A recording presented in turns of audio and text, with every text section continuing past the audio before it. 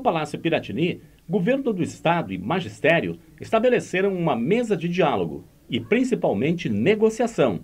O governador José Sartori, com o secretário da Educação, Vieira da Cunha, reuniu-se nesta quinta-feira com a presidente do CEPERG Sindicato, Elenir Oliveira. O secretário Vieira da Cunha avaliou a importância do encontro para a construção de soluções às reivindicações do magistério gaúcho. Nós recebemos hoje uma pauta do magistério e no que diz respeito àqueles itens que não têm repercussão financeira,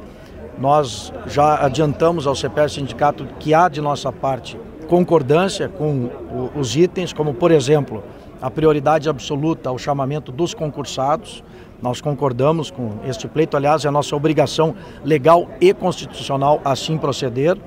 Mas no que diz respeito aos itens, como é o caso do piso, que tem repercussão financeira, eu amanhã mesmo farei uma reunião com o secretário da Fazenda, Giovanni Feltz, para nós então avaliarmos o impacto financeiro das reivindicações, que não se limitaram só ao piso, a outras, como por exemplo a questão do Vale Refeição, que serão objeto de estudo por parte da área fazendária, e assim que nós tivermos esse estudo do impacto da repercussão financeira de cada um dos itens que são objeto dessa pauta de reivindicações, nós vamos dar retorno ao CPR Sindicato. O importante registrar é que nós estabelecemos uma mesa de diálogo, de negociação, há um espírito construtivo, de respeito recíproco, que eu tenho certeza será muito salutar para o futuro da educação pública no estado do Rio Grande do Sul.